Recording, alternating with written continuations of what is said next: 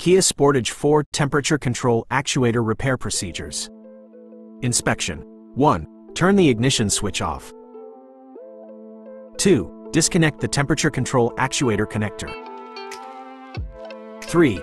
Verify that the temperature control actuator operates to the cool position when 12 volts is connected to terminal 3 and ground to terminal 4.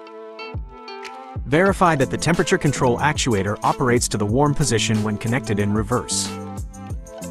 4. Connect the temperature control actuator connector. 5. Turn the ignition switch on.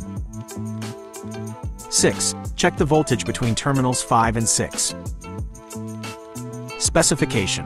It will feed back the current position of the actuator to controls.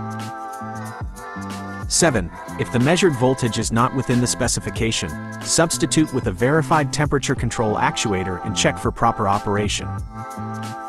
8. Replace the temperature control actuator if it is proved that there is a problem with it. Replacement, driver side. 1. Disconnect the negative, battery terminal. 2. Remove the crash pad lower panel. 3. Remove the driver's side shower duct, A, after loosening the screw. 4. Remove the smart key unit. 5. Disconnect the connector, A, and then remove the temperature control actuator, B, after loosening the mounting screws. 6. Install in the reverse order of removal. Replacement, passenger side. 1. Disconnect the negative, battery terminal. 2. Remove the glove box housing. 3.